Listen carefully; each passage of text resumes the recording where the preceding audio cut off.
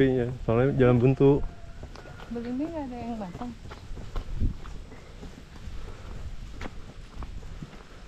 Jalan buntu kan ujungnya gang.